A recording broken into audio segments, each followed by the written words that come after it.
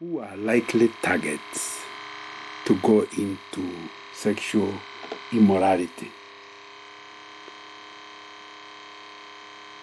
Clearly, there is nobody who does not know that it is wrong. I don't think that's where the trouble is. Almost every culture discourages wife swapping. There are rules against it. Against it. And yet, and the word of God is clear in Exodus 20:14, thou shall not commit adultery. In other words, you will not have sex outside long-term commitment. And Hebrews 13:14 is encouraging you to keep the bed holy. You know, but we still continue having people involved in adultery. you know. Um, and I think that's a very important thing. We talk about adultery, we are talking about um, married people who still have sex outside their marriage. Fornication is referring to sex between unmarried people. Um, or having sex with somebody who is not yet married. That's still part of um, sexual immorality. But uh, when you talk about that, we are also including homosexual sexuality. Um, whichever whichever area of it you want to talk about. So in reality, we are talking about immorality. We are talking about any sex outside long-term commitment. You do not enjoy the sex act until you first of all commit yourself to somebody else for life. So you first of all wed, then you can have sex. That's why you cannot, you are not, you are not allowed even to be involved in pornography or masturbation, because those are a way of enjoying sex without uh, long-term commitment. If somebody is not willing to commit or to uh, long-term, what he has, he's having for you is not love; it is lust anybody who loves you will want to stay with you. Or maybe even self love. They want to manipulate you. They are clear, they have no interest in you. But they want to use you because they have a need, a sexual need. And I think that can be quite a problem. So, therefore, when we talk about sexual immorality, we are talking about zero grazing, like they say in Kenya. That means you you are like a cow that cannot go outside a particular area. You, by your marriage, are tied. That's why they call it tying the knot. You are not allowed outside it. And you know, this thing is very interesting that people are still involved in morality despite the frightening HIV. You know, why who are the kind of people that end up being cheated i think the first one is people who listen to devil's lie that says god's standards cannot operate today. In other words if you tell him the bible says so says but the bible was written a long time ago. Even god has to update his standards. How can it operate today? The moment you get into that kind of picture assuming that there are things changing and that God's word is no longer relevant, it leaves you free to break every tradition, every um, control that has been put for the good of mankind. So it's a devil's lie. And in this discussion, we are trying to identify people that are prone to end up in sexual immorality. People who don't take God's word that was written in the Old Testament and the New Testament as relevant today are likely to end up lost because even if they read it, they say it's not applicable to me. That's one of the easiest way to get you off the line, to make you doubt that the word of God is relevant to you. But you know, you need to understand that the God we believe in, He is from eternity past to eternity future. What that means is that there is no time within him. Because if you are dealing with eternity, even a million years is still a very short time. So he knew even as he gave instructions to the writing of the Ten Commandments, he knew it could apply even years years later. So if it's really God, God can see into the future. So therefore, when he gives instructions, they can be applicable then and applicable in the future.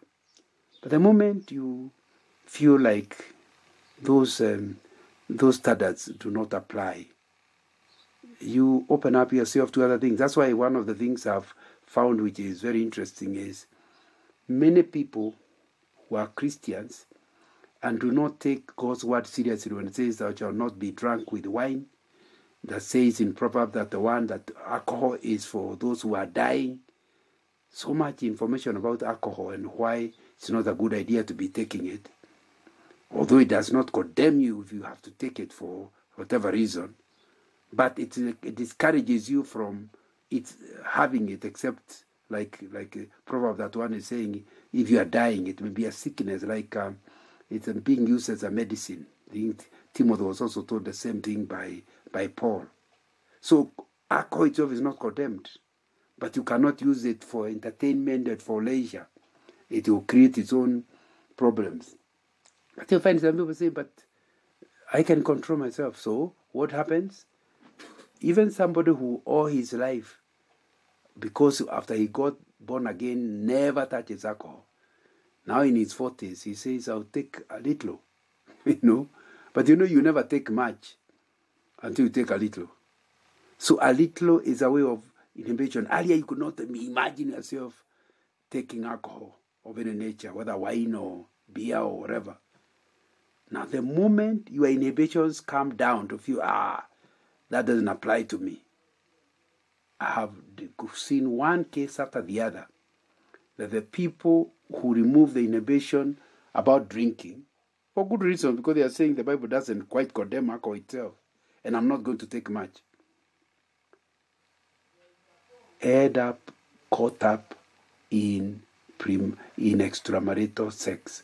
I don't know how the two relate, but my guess is that the moment you start seeing God's word as not applicable in one area, it will still not be applicable in another because it will be the same thing. No, I'm just taking this girl out. I'm not having sex with her. I'm just having time out. And she's not your wife. Oh, next time in Mombasa, I'll go with so and so, but uh, we're not going to have sex. Obviously, the moment you never have sex with someone whom you did not uh, have a meeting with, so the moment you start removing the inhibitions, feeling like God's word doesn't apply to you, you are too clever, too bright, too rich, too handsome, too something for it to apply to you.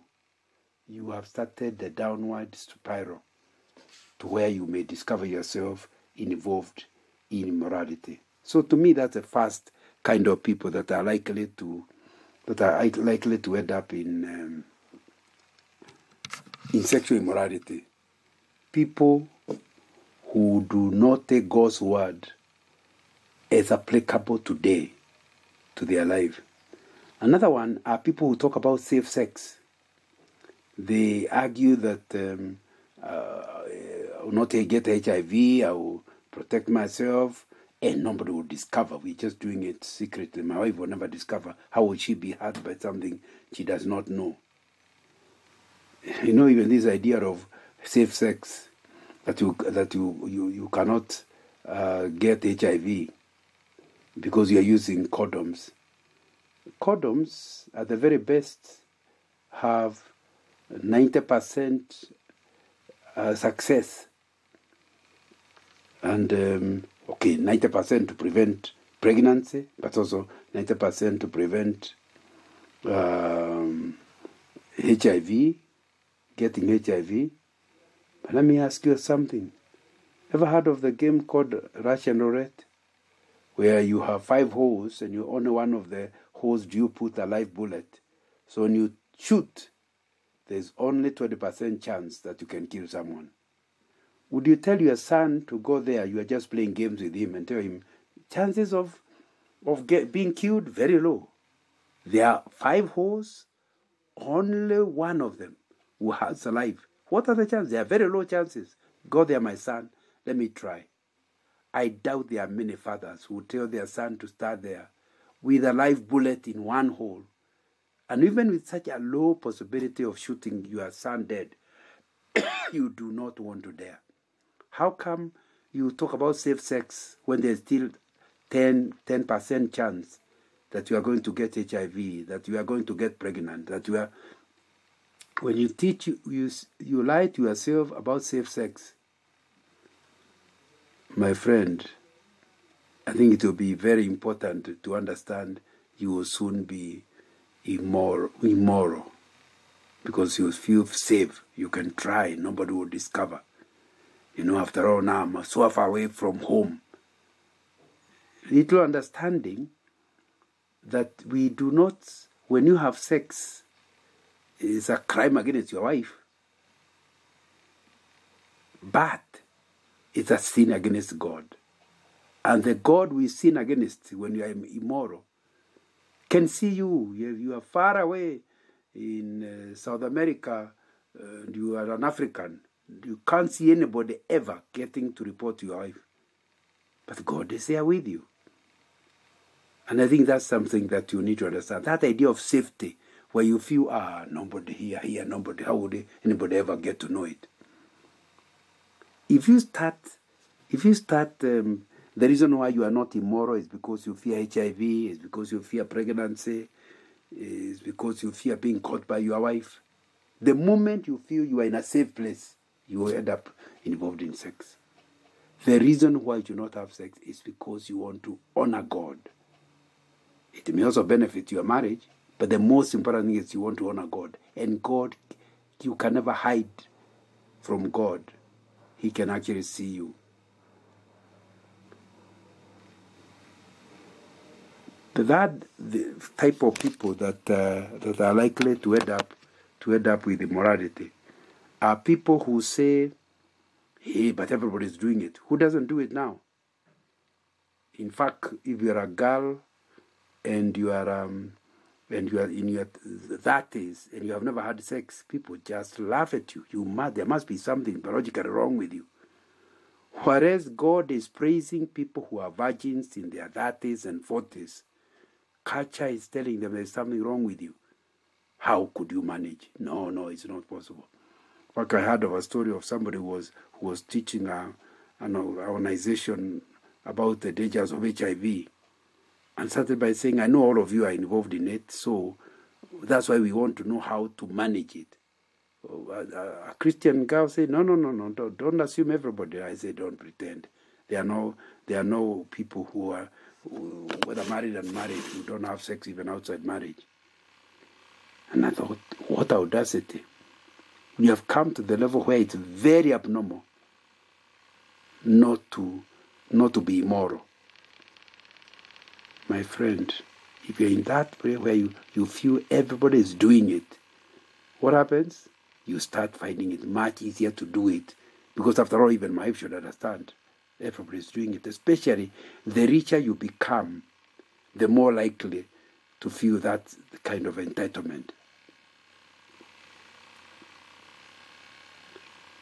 So, you know, that idea of everybody is doing it, is because people expect you to be to be to be to be to, people expect you to be like everybody else. But all of us are unique. God created us unique. And in the day of judgment nobody will be not group judgment. It will be individual. And when hiv is going to destroy you it will not destroy a group it will destroy you the fourth reason why I think the fourth type of people who end up with this um, immorality uh, are people who are given condoms free. Can you imagine a parent who notices the son is now 17, he's at the age where he's, he could very easily be attracted by girls. So she, the mother secretly goes to his room and um, places some condoms. This is a boy who is a Christian boy and has chosen to be a virgin until the wedding. But now the mother, somebody she trusts, somebody who's, who, from whom she has copied her, her, his values, places condoms. Her interest is since I know you are going likely to end up having sex, at least do not get HIV and do not get a girl pregnant. Wow. You know, that boy would have to be a very strong boy not to end up in sex because then we say, ah, yeah, you mean my mother says it's okay? But you can't give me condoms if you don't think it's okay. That will lead somebody into early sex because the parents are giving, dishing out unsolicited condoms. And that can create a predisposition towards getting to become involved in sex at a very early age. The fifth type of a person are people who do not know how to manage peer pressure. Ever heard of the saying, dead fish move with the current? My friend, sometimes earlier it used to be boys who would move girls, but now girls are themselves working on boys and pushing them. Oh, you say you are a man. What kind of man are you? I'm here with you and you're doing nothing. What kind of a man? You really must have a problem. In order to prove you're a man, you end up sexually immoral through peer pressure. But surely you know you are a man. Why do you, does, does why does anybody else need to tell you you are? You know you are a woman. Why does anybody else need to tell you you are?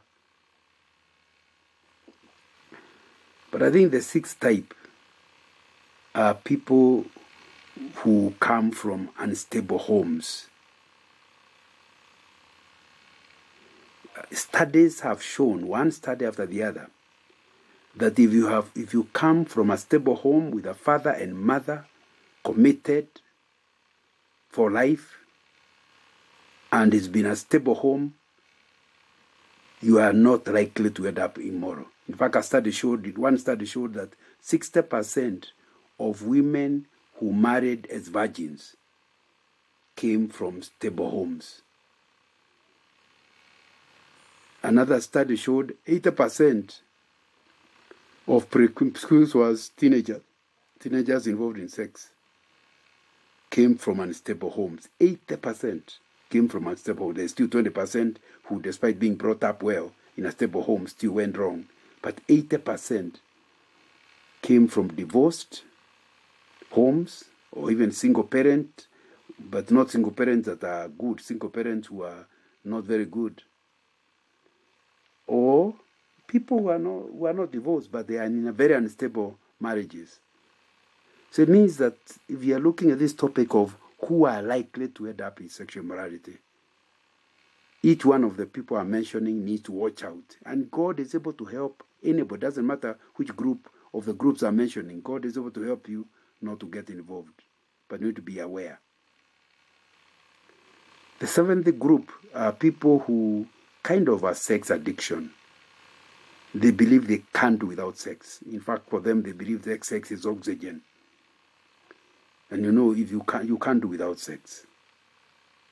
First Corinthians chapter 7, verse 1 is saying, it's okay not to marry. In other words, you will not die. Sex is not oxygen. You can do without it. But when you start thinking that, what will happen to me? Nothing. Nothing will happen to you. Many people marry in their 40s, 50s, 60s. Some never marry. Many of the many of the uh, church activity, church transformation that was brought in Africa was brought by single women who came as nurses or came as various as doctors and never got married. So I think it's important to understand if you believe sex is is, is, is a must, one of these days you'll feel surely God understands. If only you had given me somebody to marry, I'll not do it. But now I have nobody to marry me. What can I do? You start arranging to have sex. But Second Samuel chapter 11 talks about David. How did David end up taking Bathsheba to Bathsheba to, to bed? He was idle. At a time when kings go to war, might be summer, he just stayed home, idle. And um, that idleness is what really got him into trouble. Similarly, my friend, have a busy life. Even rest should be something in your diary so that you don't just move far without a plan in your life. The moment you have time that is idle, you have no idea what you are doing, there's a big likelihood of you ending up in sexual sin. That is the eighth type of a person. Then the ninth person is in 2 Peter 2:14. People whose faith is not stable. Um, so they, it will be difficult to stand. They rely on other people's opinion. they are like what the late Bishop Kivengere called the Nile cabbage. Still remember him talking to us in 1976 at the University of Nairobi. I've not forgotten the Nile cabbage. And, uh, and when I went to when I went to finally went to, to Uganda to see the Nile, that's something I was very keen on. Something floating on top of the water. And it can move any direction. It Depends on the wind. When the wind blows to the left, it goes to the left. It has no direction. It just keeps moving. And it's not stationary. It doesn't have roots that hold, help it to hold. My friend, if you don't have a step of faith, a commitment to walk with God, and watering that faith by having quiet time and growing, my friend, you are a, a candidate for immorality. Job chapter 24, verse 15 is talking about people in corners. In other words, areas that are unknown. So you need to understand you should not be found with a, with a person of the opposite sex in a compromising situation. You want us to trust you, but do you trust yourself either? If you trust yourself, do you trust your, your, your, your partner? So people who are careless by allowing their, maybe are a pastor and you're allowing a woman to come to your office, there's nobody else around, you are playing with fire. People who go to compromising situations without realizing the dangers. Unlike Joseph, who was near in a room when Potiphar's wife came, he didn't negotiate. The situation was such that it's not a good place to negotiate. There were just the two of you of them. So he he left the woman holding her his uh, his coat and disappeared. If you don't want to do that, so you'll be with people in compromising situations, you are likely to end up in sin. Uh, people who do not care about it. You know, somebody, your boyfriend comes to visit you, and you are in a rural place, and you allow him to stay until the evening. Where are you hoping he, he is going to go? To where? Oh, but in my room, my house has two bedrooms. So I will sleep in one and you sleep in another. And you're just the two of you in that house? Job 24:15 is advising you otherwise. Then in 1 Corinthians chapter 7 verse 5 it's talking about other people where where the spouse is not available in bed. That kind of a person where the wife or the husband is depriving him or her of his sexual rights doesn't mean he has a right to become immoral. But you need to watch out. You need to know that once you are used to sex, then it's deprived, and uh, your wife is still there but refusing, you become more torn towards the possibility of you being involved in sex. Obviously, God is saying you don't have to. You cry to Him and He'll help you. Have you ever heard of the saying, if you are not near the one you love, watch out you love the one who is near. Let me repeat. Be near the one you love. Otherwise, you are likely to love the one who is near. So if your wife or your husband is not available for sex, all you need is somebody else to, to come along and you have a harder time. So that's why you should run away more than anybody else because you know yourself. Proverbs 7 verse 7 is talking about people who are bad at making judgment, wrong, having judgment, wrong judgment. They think they are strong, for example. They can't fall. Ah, here I can, I can manage this one. My friend, you're like a, a driver who was driving a car on brakes. Then the brakes worn out, and he was going down the hill. He applied the brakes, but they had worn out, they are gone. When you stay in a circumstance where you think you are strong, but you are tempting yourself, you may reach a place where the brakes are worn out. That's why you don't stay near a sexually arousing area. Because then you are, you are still stopping yourself, but you are applying brakes. The brakes could be around. Down a hill, you discover yourself because I don't know how we ended up in sex. I we are both born again. We had said never, but here you are. Wrong judgment. Leviticus 2020 um, is when you think the you know other people are not uh, strong and you start feeling like the other things that could um, help you to stand and it's something that you need to to think about as you think about all these people that we are saying are likely very very likely to end up in sex. The, why am I listing them? I'm listing them because in the process, when you understand that if you're in that circumstance, you need to watch out very clearly. You need to know that you could easily fall fall into it. And so you watch out because none of these circumstances I'm giving forces you to become immoral.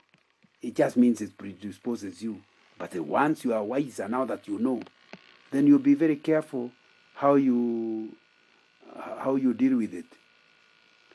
You know, Leviticus 20 20 says, if a man has sexual relations with his aunt, he has dishonored his uncle. They will be held responsible. They will die childless. What is what are we learning? People who don't know how to keep boundaries. If somebody is your aunt, if somebody is your if somebody has no possibility of you marrying them, why are you encouraging a relationship to develop? That lack of boundaries, that I can't go beyond that. For me, that's all. Even with your own girlfriend, because if you end up with sex before the wedding day, you will be immoral. So why don't you say no? We can never go, we can never meet in such and such a place. Agree the rules create boundaries and they will help you. You know, First Corinthians chapter 5, verse 11, you're talking about where, where you end up with cover up by a church. In other words, even if you go wrong, there, there'll be nobody to confront you. What that means, when people do not confront you with your sin, it makes it easier for you to end up in sin. And uh, Matthew 5:27 is talking about uh, not taking the mind because the Bible is saying if you if you think of a woman lustfully, you have already committed adultery. If you don't take immorality in the head as serious, you will finally end up with actual sexual immorality. My friend, if you are a disciple of Jesus Christ, don't act like an animal on heat. You know, animals during their their their mating sessions, you can't stop it. I grew up in the rural area, and a cow on heat is impossible to manage. But you're a human being with controls, and the Holy Spirit will give you the enablement. So you cannot end up then being the kind of a person who is going to do things that like an animal. All these are are, people, are, are, are the people who are candidates for immorality if they do not cry to God and walk in wisdom. Because those are the two things that cry to God for His help, read His word, and walk in wisdom in handling the members of the opposite sex, in handling anybody who could easily, easily attract you into immorality.